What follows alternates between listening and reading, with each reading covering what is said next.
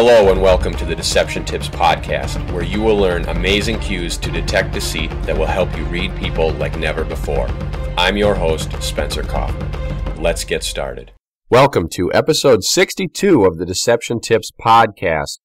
Thanks again for listening. This is very important to both you and me. I love it that you are continuing to listen to the Deception Tips Podcast, that you are learning more and more about reading people and detecting deception so that you can spot lies and never be deceived again. This is super awesome because there is so much deception out there. Everybody is trying to take advantage of somebody else or get ahead, and they really tend to do that, whether they mean to or not, at other people's expense. So if you can read these little hidden signs and understand body language and interpret the behavior and understand when someone is lying and when they are telling the truth, then you will be much better off and much more secure and able to tell when someone is trying to take advantage of you.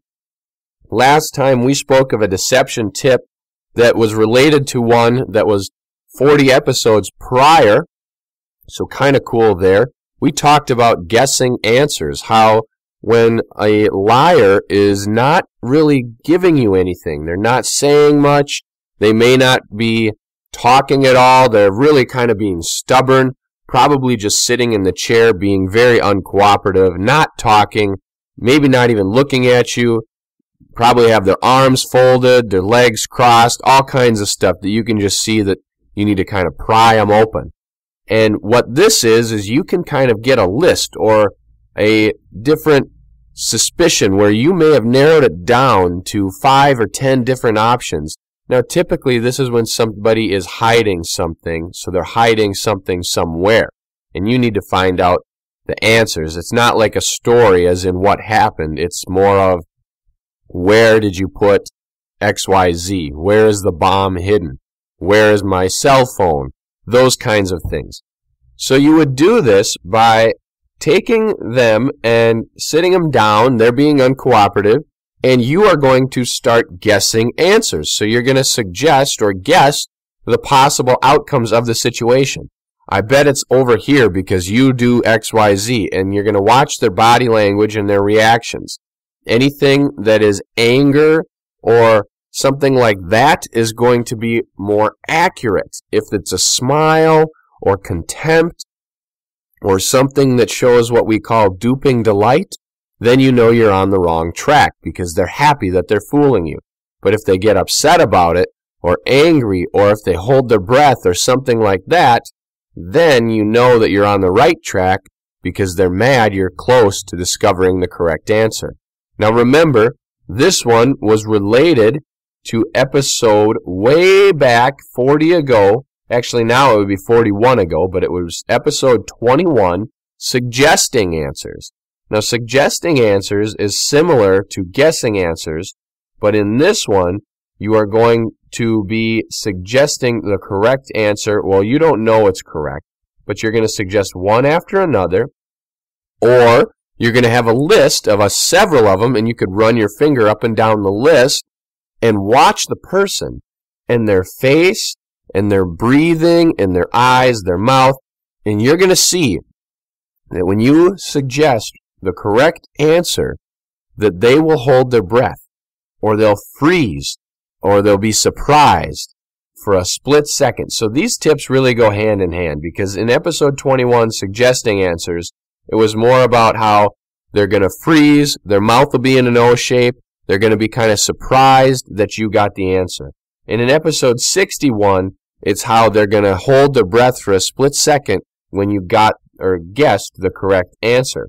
So they're very, very similar. They play, you're going to probably see all of them is in a whole cluster of behaviors when this happens because usually when someone is being deceptive and they're not budging at all, they're not even speaking, and a target can come out and say, I know exactly where it is, and they can give a few different options, and then all of a sudden they land on the correct one the liar is going to be so shocked, so surprised, like, how did they do that? Are they reading my mind? What is going on? Because typically, the liar is thinking about where they hid whatever object.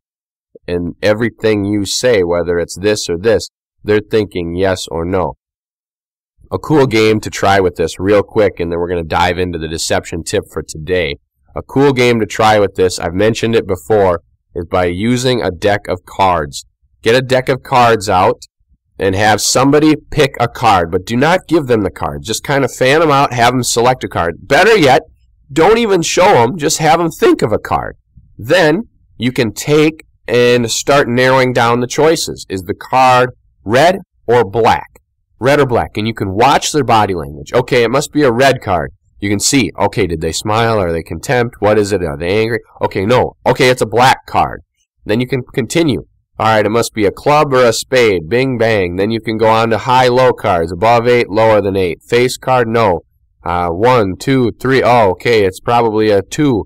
All right, it's the 2 of uh, clubs. I got it. Two of clubs. And they're going to be like, oh my gosh, how did you do that?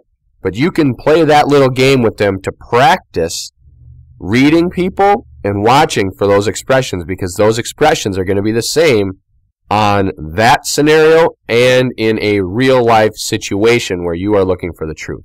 So practice that, and I hope you do it a lot, and you will notice that you will be able to read people a lot better after practicing that. All right, here we go. Today, deception tip number 62. Some liars often say their statements twice with their voice rising the second time around. Here it is again, deception tip 62.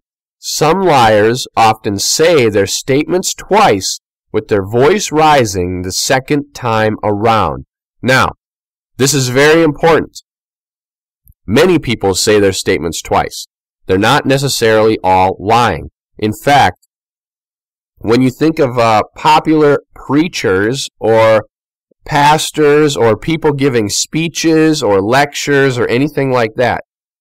Pay attention to them. Now, not everybody does this, but some people do. And oftentimes, when they do, they do it way too often, and it becomes very annoying. When they continue to say their statement twice, their point. Whenever they are bringing up something, they're talking, then they're wrapping up a sentence, they'll say the end of the sentence, then they pause, then they say it again. Then they continue on, they say their sentence, they pause, then they say it again. And they do this over and over and over. They are saying their statements twice for emphasis, to try to push it into your mind. And of course, it does, but really, what ends up happening if they do it too often is you forget the message and you start realizing that it was so annoying and you hate it when they talk and whatever and you become frustrated with it. So those who do it right the message is impacted and you do remember it a lot more. But this is not that. We are going to talk about how when they lie and say it a second time for emphasis, and their voice rises because of the change in pitch and the nervousness and etc., all of that. But we will talk a lot more about it coming up right after this. Want to be a lie spotter, but don't have time to do the research? Check out Spencer Coffman's Deception Tips blog and learn how to detect deception. You'll be an expert at detecting lies. That's Welcome back to Deception Tip episode number 62, where we are talking about how liars' voices may rise the second time around when they repeat their statement. Now, it's important to note that most people repeat their statements when trying to get a point across, and in a speech or a lecture or a sermon or something like that. Doesn't necessarily mean they're lying because they're saying it for emphasis. Usually, those types of people, their voice will go down. Their voice will go down. It's kind of like that. They say it in the sentence and then they stop. They say it again for emphasis. They stop. They say it again for emphasis. You get the idea. That's not a lie. Those are repeating something to let it sink in because it's important in their message or their speech or their lecture or whatever they're trying to do. This is a lying behavior here where they're going to say it a second time and their voice will go up. Kind of like that. So, where were you yesterday? Oh, I was at the farm. I was at the farm. So it raises in pitch. Why does it raise in pitch? The reason is because when they're nervous, they're tense, most of the time when people are nervous, the tension in their body is going up. Okay, that is just natural. It's hand in hand. I shouldn't have even have to say it. And after this, I mean, we've talked about it many, many times, practically in every episode. So you know that when people lie, they're under a tremendous amount of stress and tension.